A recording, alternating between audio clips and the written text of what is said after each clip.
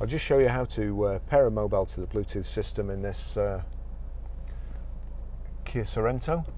So first of all, make sure Bluetooth's on, then into the settings, the gear uh, symbol there. Search for Bluetooth devices, click search.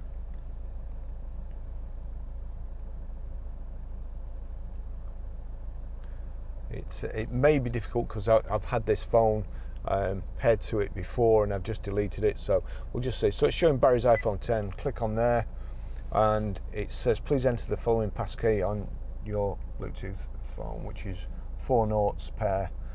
Allow contacts. Kia Motors connected. That's that's it connected.